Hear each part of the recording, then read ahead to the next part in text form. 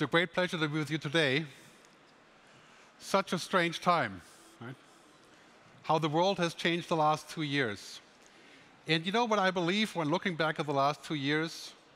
I think the future does not belong to the most powerful or the most evil, as we can suspect looking back the last couple of weeks. It belongs to those that can collaborate the best.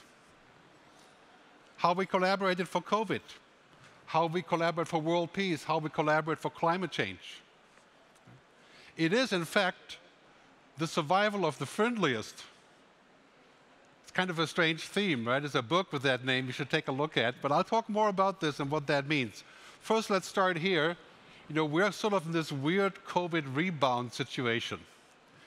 And I live in Switzerland, and I look at this and I'm saying, like, okay, maybe the next decade is sort of a golden era so there's going to be a 10-year period now where we're going to see more change than the previous 100 years. And, it's important to realize that this is becoming the new normal. Business as usual is dead or dying. Whether you're a car company, right? What do car companies sell now? They don't sell cars. I'm from Germany, right? What do they sell? Mobility. Right? What do pharma companies sell?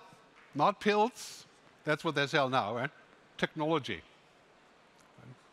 I mean, 80% of military budget in 10 years will be digital.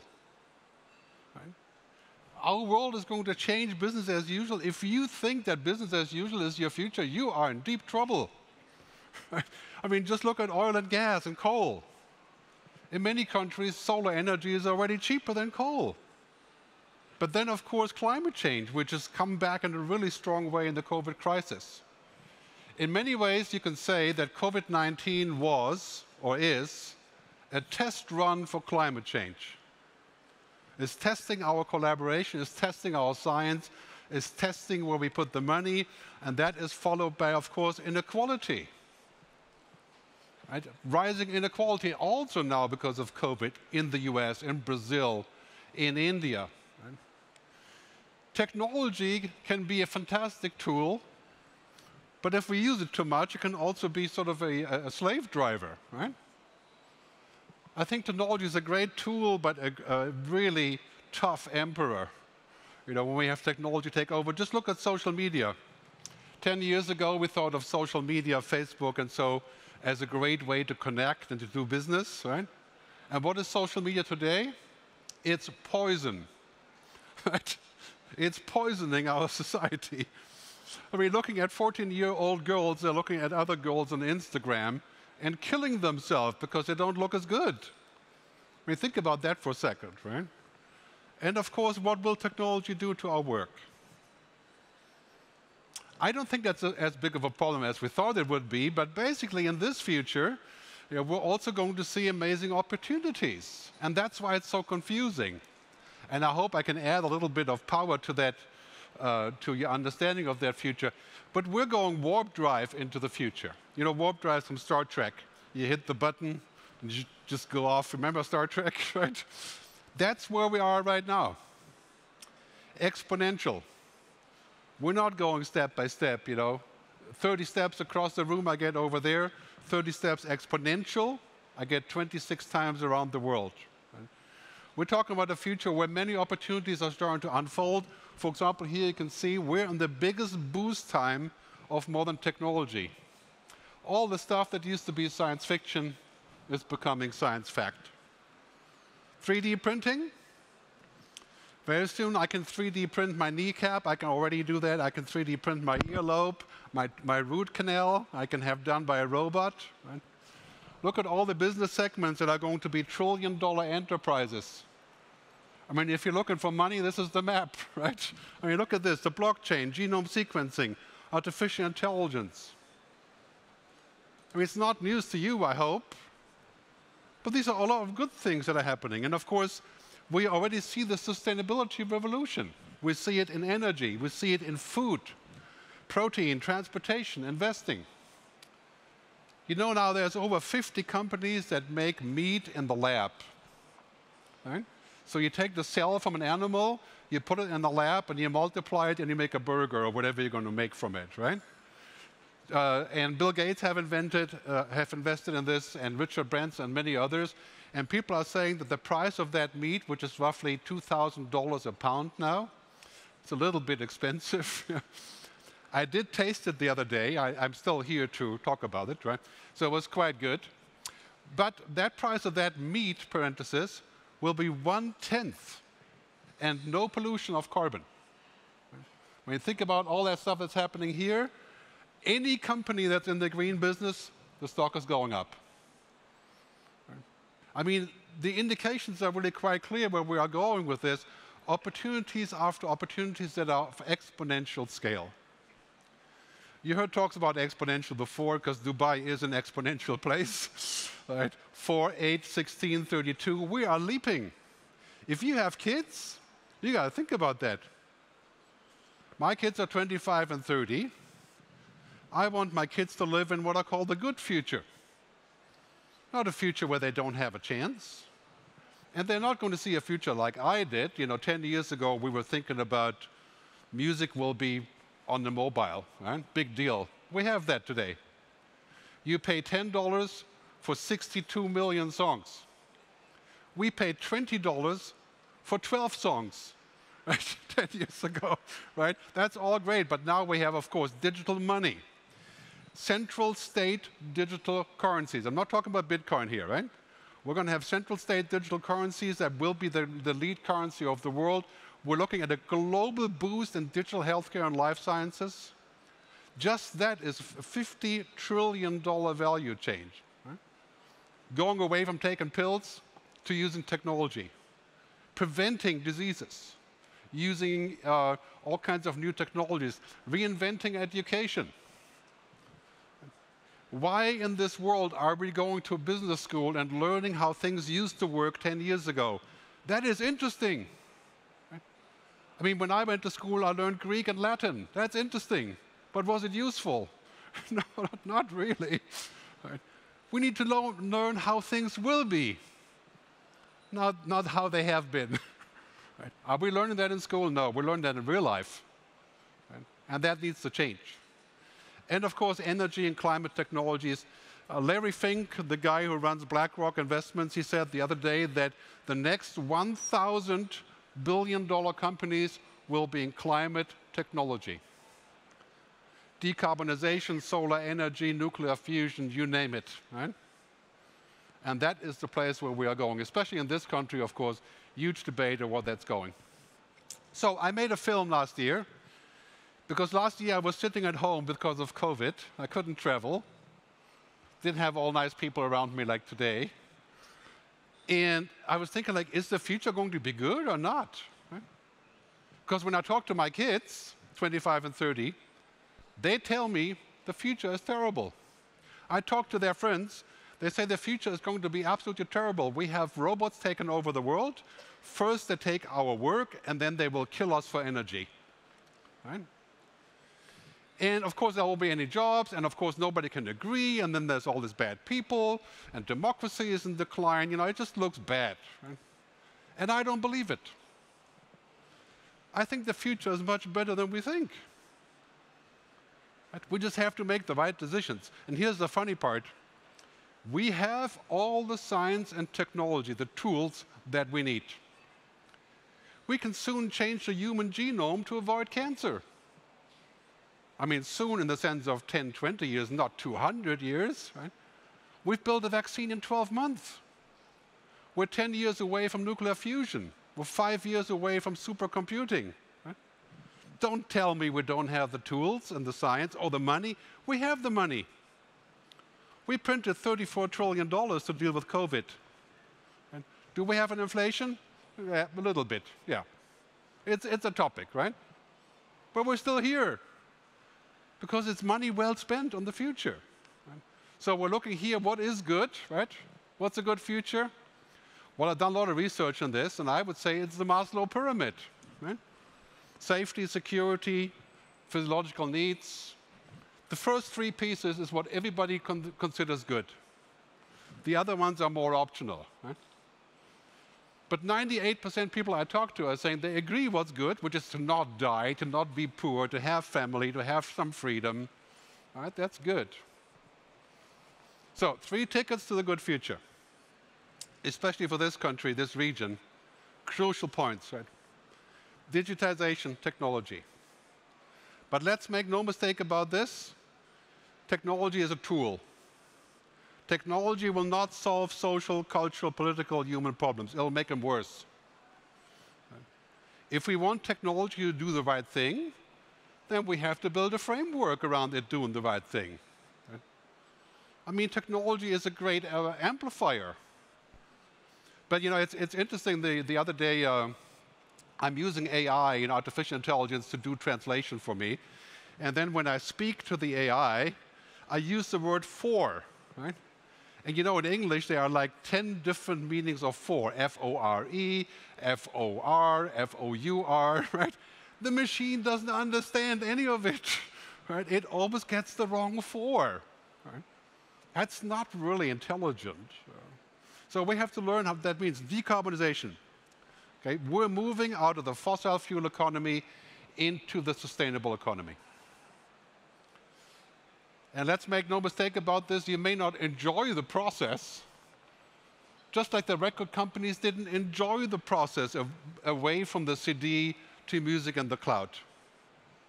I used to be in the music business, and the record companies told me that's a crime because music will get very cheap in the cloud. Well, guess what?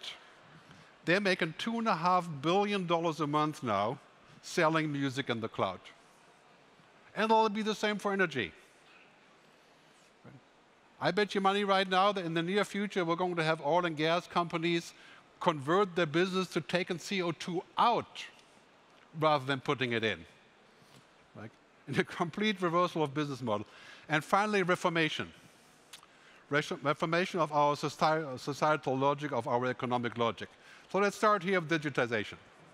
Okay, point number one really is uh, we're heading in a future of 10 game changers. And I won't go through all of them because we'll be here tonight, right? You can look them up at girlsgamechangers.com.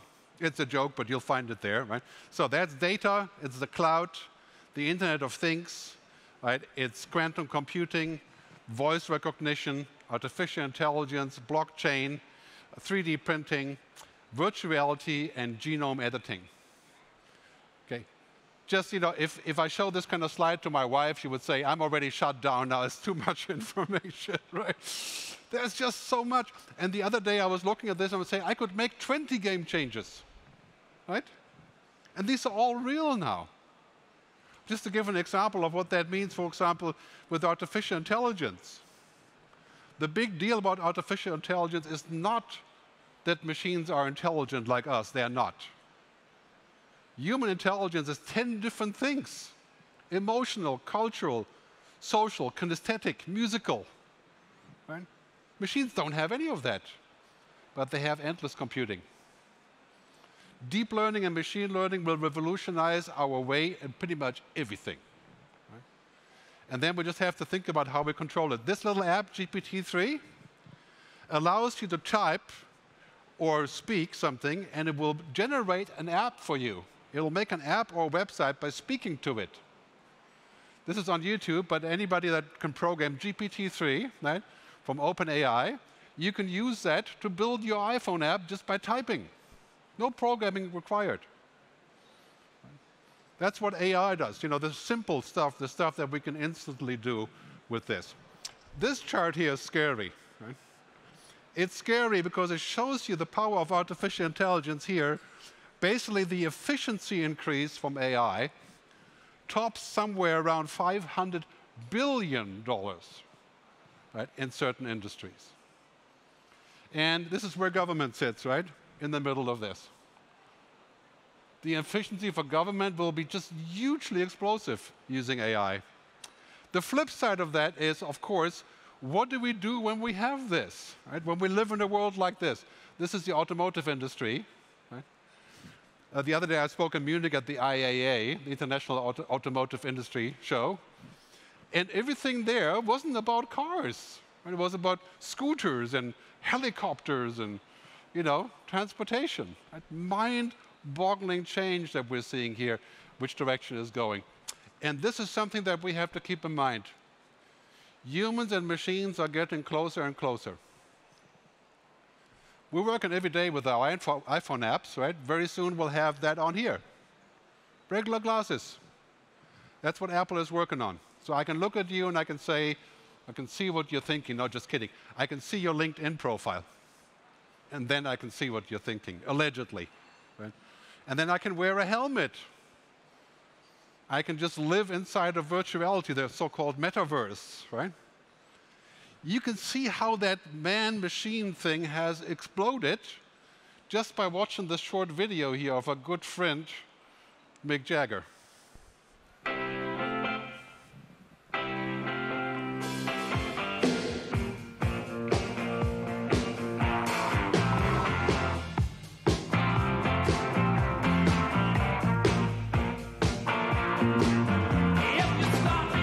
Well, YouTube, right? He's amazing. I love Mick Jagger. But important about this video is the robot is dancing, right? And he's not, he's actually moving along with Mick Jagger.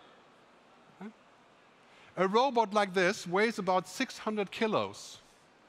10 years ago, the same robot would be in a safety cage. Right? Would break down all the doors in the building because it would be out of control trying to dance. And that's what we have now. Right? So, important in this whole transition is this. We have to forget about this idea about efficiency.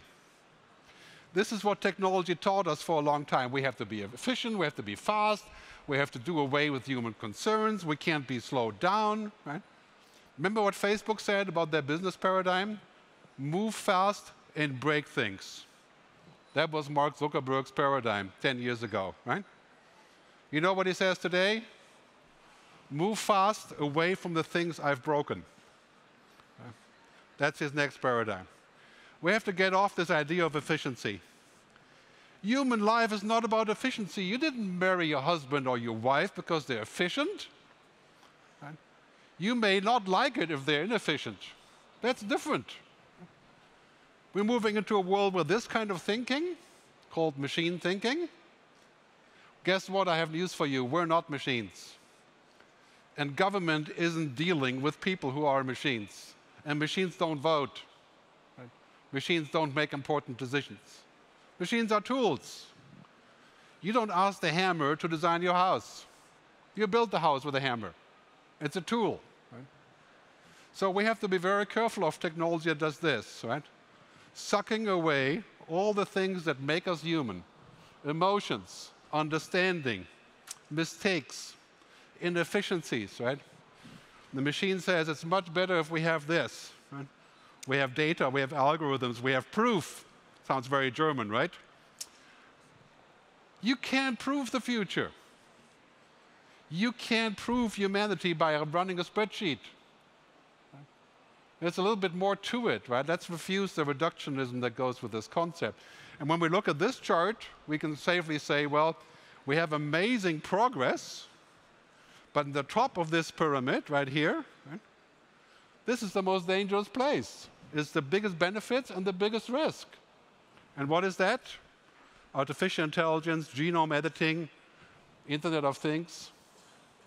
So, if we're going to use technology, we have to use it wisely, with caution, with understanding, with human identity we have to think about a larger thing, which is the basic problem of technology is this, right? Technology has no ethics. It doesn't care about your feelings, your values.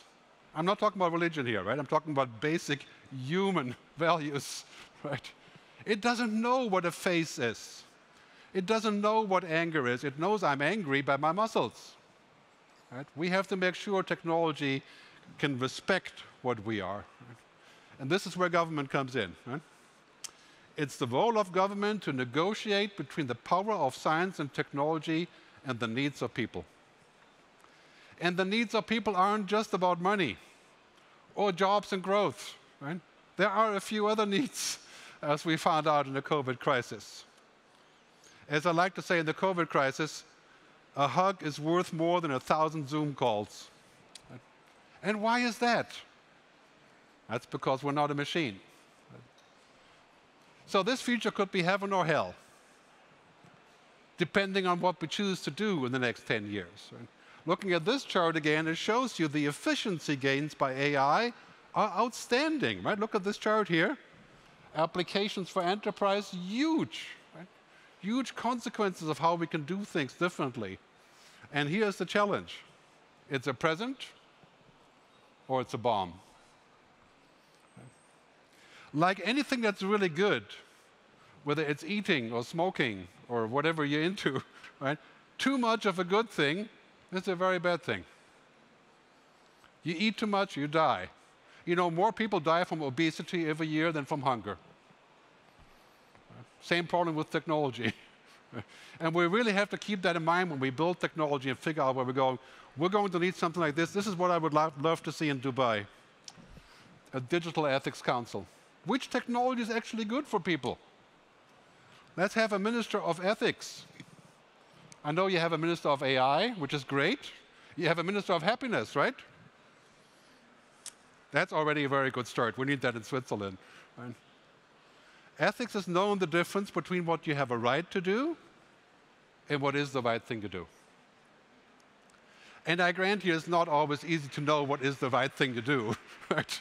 It's a complex question. So, as we're heading into this future, science fiction is becoming science fact. We have flying taxis now. We have many things described in science fiction films, right? the consequences of technology will be absolutely astounding. Economic, social, and human consciousness transformation. Some people would argue we're moving towards what's called the global consciousness. It's hard to imagine when you're looking at Russia right now, right? That such a thing would be possible. But we're moving into the future of where we're thinking of collaboration, how to get to a common goal. Right? Fundamental shift in how we work and where we work. You know, roughly there's an estimate saying in 2030, 70% of all new jobs have not even been invented yet. Can you imagine? Your kids are going to work in jobs that don't exist. Like today, 21 million people work in social media. Job didn't exist 20 years ago, 15 years ago, 10 years ago. Right? Education will have to support that. Right? We're going to be needing a lot of more educational certificates, uh, things that we can do, fundamental shifts in how and when. Hello, yes, title shifts in education. And government needs to be ready for the future. I call that the future mindset. I have more to say on that a little bit later, but these are going to be the important things of the future. Wise leadership becomes existential. Wise doesn't just mean informed. Right? It means knowing the way forward understanding what is best. When we talk, for example, about the metaverse, you guys are familiar with the metaverse, right? Virtual reality environment, real-time media feed, pushed by Facebook and Microsoft and many others. We have environments like this where you can work virtually using holograms and what's called mixed reality. We have these kind of virtual shopping environments. This is Walmart. And then we have virtual meetings, of course. This is Microsoft Metaverse, part of the Teams platform. Right?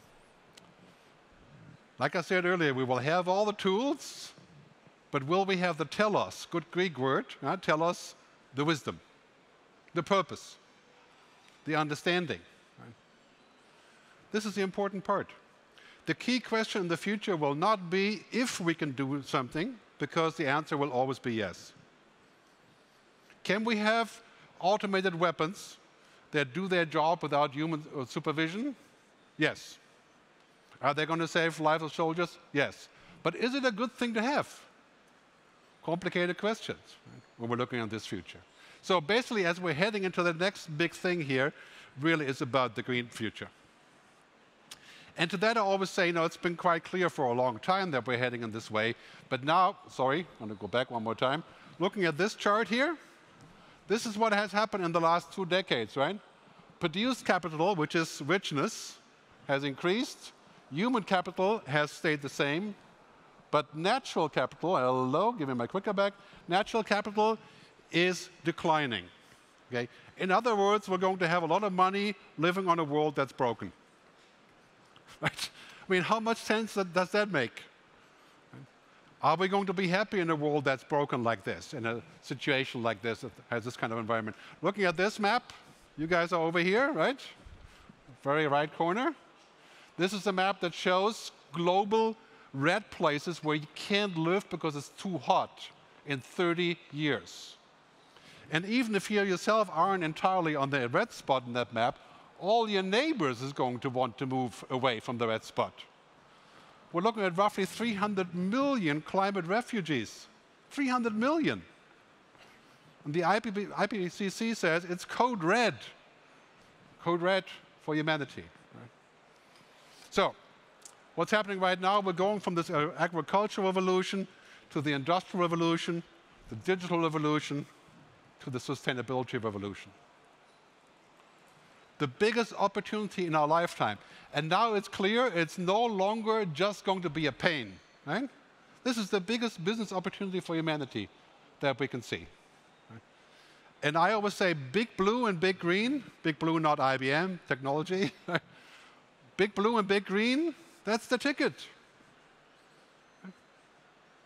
Green is the new digital, and sustainable is the new profitable. And no matter how hard that is for us to accept this, this is as certain as music going from the CD to the cloud. So it's something we have to think about how we're going to change it, how we're going to adapt to it, right? I mean, this, this curve here shows you all the stuff that's already happening in climate technology. In the next two years, the next five years, the next 10 years, basically now. Right? Don't miss the boat on this one. I mean, all of those opportunities are here right in front of us, right here, right now. We're moving from a world that is based on extraction, oil, gas, coal, right, to a world that's completely different based on creation, right, on ideas, on concepts. Winston Churchill said, uh, 1948, the emperor of the future is the emperor of the mind. and now we're here. That's where all the money is now creation. Not just digital creation, but all creation and creating experiences. We're moving into that future where the bright horizon really is about that. And this is not about not growing, right? This whole idea of degrowth, remember this one? All right, the Club of Rome. All right, the limits to growth, 1972. Right? Not entirely wrong, but I don't think it's going to be about degrowth. It's going to be about circular, sustainable, holistic growth. That's the mission. I mean, a degrowth society would mean not having kids, not traveling. That doesn't strike me as a very good idea that we could all agree on, right? So we're moving into the future where all that circular economy is the new economy. If your company isn't circular, it won't exist in 10 years. And that's an opportunity. McKinsey says roughly $150 trillion revenue shift on a global level. So it takes me to uh, reformation. We're going to see a lot of this happening in the near future, right, where the things that used to be impossible are the new normal. We're going to see a carbon tax on flying with an airplane, every single flight you take. Carbon tax on eating meat. We may see a compulsory carbon tax for everybody, a climate change tax in Europe like we had it in Germany when East Germany came back, right? We had a compulsory tax. We're going to see a lot of movement on this. I think that's going to be a really, really powerful situation, also quite difficult. Unthinkable is the new normal. Take that as the paradigm of the future, right? That is what's happening. New paradigms, new priorities, new narratives, right? And we have a simple choice here. Okay? We stay on the one side with this paradigm, profit and growth. Milton Friedman, and all of that. Or libertarianism. I'm not against it, but it's no longer working, right? Why is it no longer working? Because there's also more important things. Profit and growth has kind of left us as a useful paradigm. Now there's four of them, as Elkington said years ago people plan planet profit. I say people plan planet purpose and prosperity. Purpose. It's what do we want? What kind of future do we want to see? And now we're seeing that everywhere, as you can see here, this kind of scenario of the future, and of course the plan. You see here on the right whether it's uh, uh, uh, BlackRock talking about that future, whether it's about the Pandora's papers, whether it's about Tesla. You know, all of those discussions. I mean, the U.S. government said we should take the copyright away from the pharma companies to distribute COVID. Right? I mean, what a story. Right? That's basically the new paradigm of thinking how, how we can do things together in the future. That is the paradigm of purpose. I think we're moving there very quickly. For example, now 86% of people think around the world that CEOs should get involved with complex issues. Whether it's climate change, whether it's unemployment, whether it's inequality. That is becoming crucial. We have to show people that we care. If you have kids between, say, 25 and 35, you know what they want is people to be responsible, right? to take leadership, not just to go on as business as usual. Brings me to an important point. The world of women is coming. In this country, there's already quite a bit of leadership on this topic, right?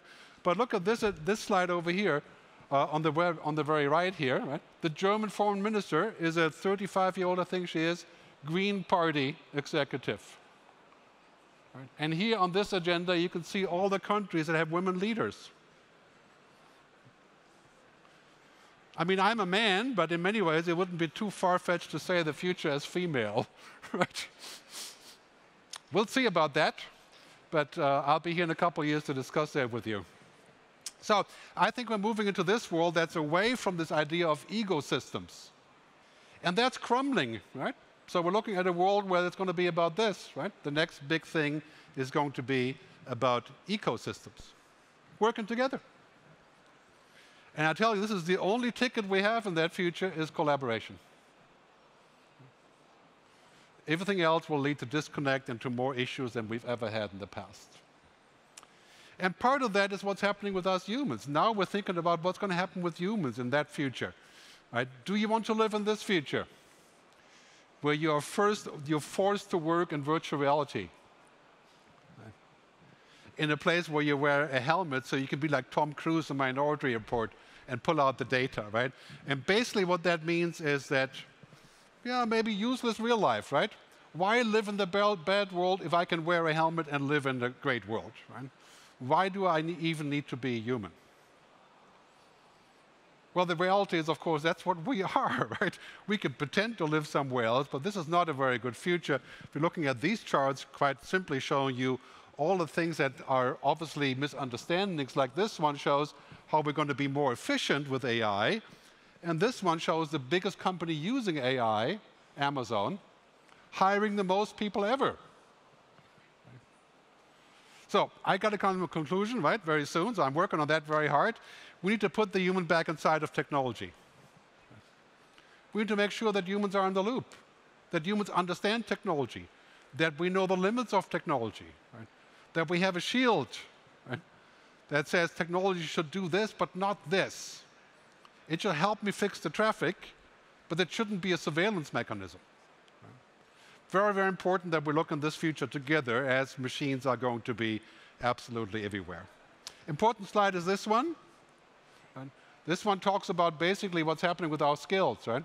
We're going to move up from this idea of knowing things like machines, like intellectual knowledge, data, information, right? We're going to move up the pyramid towards the things that only humans can do. And that is the future of education, right? Future ed education isn't down here anymore in data and information. It's in deeper knowledge, tacit knowledge, understanding. Our ultimate job is to be human. Our ultimate job is not to compete with machines and to be faster. Right? Is to do the things that we can do best. So I'm going to wrap up now because it's time. Time is fleeting as I'm always talking more than I had planned, but bear with me for just a few more minutes on this one. So in education, that means we're moving from this idea of science to the idea of teaching more than science. I call it HECI. Not just STEM, but humanities. And why is that important? Because machines will do a lot of the heavy lifting in the future. Machines can't do this. So that's important that we balance, right, as we go invest as much in humanity as you invest in technology. That's the ticket to the future. Of course, we have to invest in technology. that goes without saying, right? But we have to invest in people as well, right? Into what we are and what we can be in that future. Because one thing is for sure, the robots are coming, and if you work like a robot, a robot will take your job. And if you learn like a robot, you'll never have a job. Don't let your kids learn like a robot. That's the best ticket to their bad future, not the good future. All right, so promise I would go up to the summary. So what now? First of all, let's not look at the future like this. The future isn't all bad just because we hear bad things on Facebook or Twitter right? or television right? or Netflix. Don't watch any stuff about net on Netflix when it's about the future. It always ends badly. Right? I'm excited about the future. The future is better than we think. I mean, we're here today at the cusp of a renewable energy society, of fixing cancer, of working together for global pollution, for water, for food, for everything else, right? So the future is better than we think, especially here, right? The future is not something that just happens to us. I mean, this is a typical approach in Europe that we have. You know, somebody else makes the future. The Americans, the Chinese. We make the future. We make the future by action or by inaction, by doing something or by not doing something. And that is the most important thing, the six future principles. I mentioned some of them earlier. Exponential change, combinatorial change, but on the other side, holistic, circular, and human. What good is a rich future if it is not human? Right? What's the point? We can live in a world that's deprived of humanity but it's very rich. Right? That is the world, world of uh, George Orwell. So to get to that word, we have to pay attention. This is what I do every day. I just listen. That's all you have to do. I always say, please listen one hour to, uh, per day to the future. Bill Gates says five hours a week. To listen to the future, to read, not to watch movies, right? Not to watch stuff on YouTube, but to actually read things about the future and to understand it. Because, very important saying, as you see the future, as you hear the future, so we act, and as you act, so it becomes. You think the future will be bad, it will be bad. And we have to move beyond that and understand why the future is better than we think. So, here's my summary. Bottom line the good future is part of that process of understanding it. To pursue a future mindset. I want to see you all here next year with big ears like this and say, Yes, I've paid attention. I've heard the future. I understood where the future comes in. This Indian philosopher says it really well. Imagining the future may be more important than analyzing the past. Tell that to a historian. Companies today are no longer resource bound, they're imagination bound. And I would add to that, countries today are imagination bound. I wish you all the best, and I'll see you in the future. Thank you.